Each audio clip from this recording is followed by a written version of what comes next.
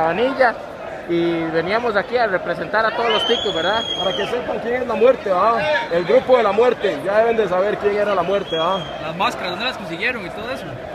Tuvimos que explorar, pasar el día de ayer ahí explorando, a ver dónde las conseguíamos. Y lo logramos. Misión cumplida. Íbamos a ganar en la cancha y en la gradería también. Eso.